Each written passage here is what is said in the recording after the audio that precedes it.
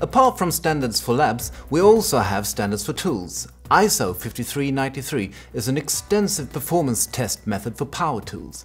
Machine capability test follows selected parts of this extensive standard.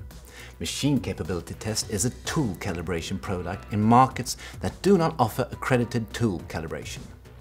In other markets, accredited tool calibration follows national standards since a global standard for such calibration does not yet exist.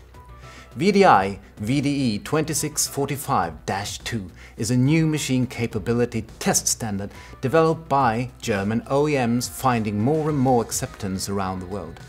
This standard describes certification of the tool based on two aspects either certifying the entire tool or certifying the tool for a particular application only.